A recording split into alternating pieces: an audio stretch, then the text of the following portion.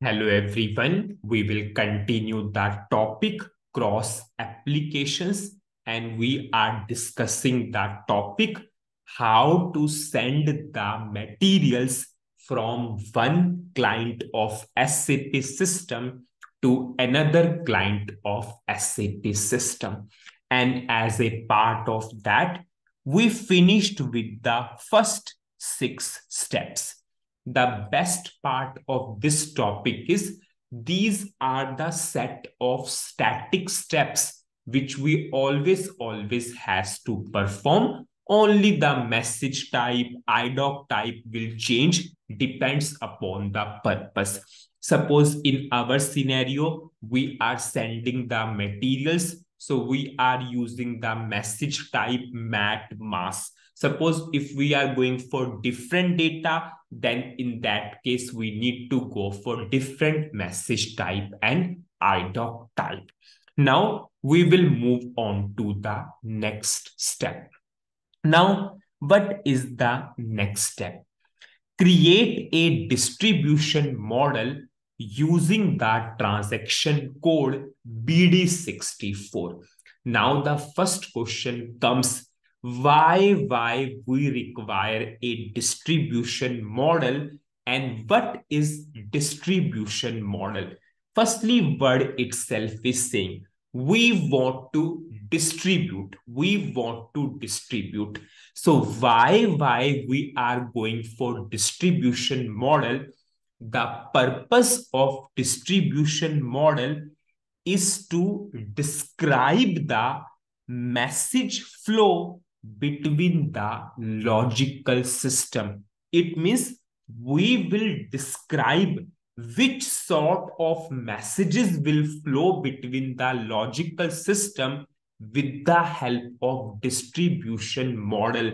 So distribution model helps us to describe that this particular information or this particular message will flow between the logical system. Suppose in our current scenario, we are sending the materials. So yes, with the help of distribution model, yes, we will describe that this particular message or information will flow between the logical system. In our current scenario, message or information is materials in our current requirement. Now, you all know we are saying the sort of information between the logical system. And yes, we have two logical system. One is sender and one is receiver. For the 100 number client, what is the logical system? A for HCL and T100. For the 200 client, what is the logical system? A for HCL and T200. So between these two logical system, which sort of information or which particular messages will flow that we will always always decide through distribution model for this purpose, we are creating distribution model. Now, what I will do, I will simply, simply go to BD64 transaction code and we will create a distribution model. So what I will do, I will go to BD64 transaction code. Important transaction code, yes.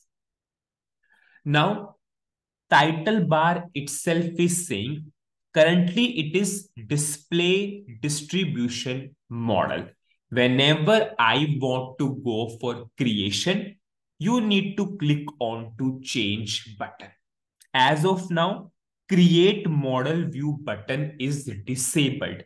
Once I will click on to change button, now this button enabled and you can see title bar also changed change distribution model. Now I will create a new model view. I will click on to the create button and title bar and description itself is saying create new view in the distribution model. I will go for create. I will give the short text. Suppose I will say model view for the materials.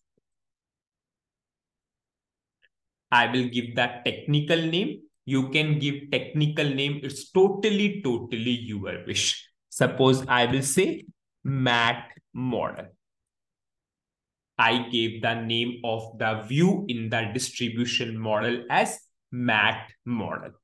I will go for OK. Now you can see we got this particular view in this distribution model. Yes, this is the technical name and this is the description. I will go for save. Now I will simply, simply go for add message type. Now when I clicked on to add message type, now you can understand very, very easily the definition of logic, definition of distribution model. Just now we discussed the purpose of distribution model is to describe the message flow between the logical system. And yes, now we need to provide the logical system for the sender we need to provide the logical system for the receiver. So what is the logical system for the sender?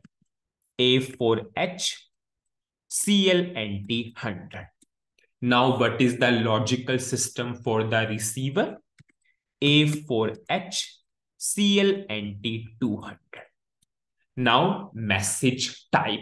Just now we discussed the definition the purpose is to describe the message flow. Now, in our current scenario, what is the message type for the materials? Ultimately, we are distributing, we are sending the materials. So, what is the message type for the materials? It is mat mass. In the previous videos, we used this particular message type. I will go for OK. And yes, now I will go for save. So we simply, simply created a view in this BD64 transaction code.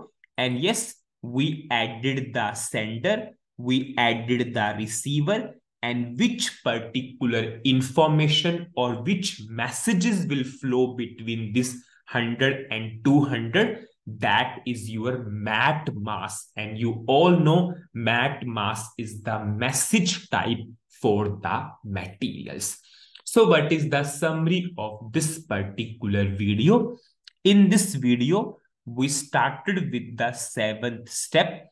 We created the distribution model using the transaction code bd64 now the first question comes in everyone mind why we require a distribution model. The purpose of distribution model is to describe that which sort of messages, information you want to send, you want to flow between the logical system. In our current example, we want to send the materials. So we simply created a view in the BD64 transaction code we clicked on to add message type. We provided the logical system, logical system for the sender, logical system for the receiver, and we provided the message type mat mass.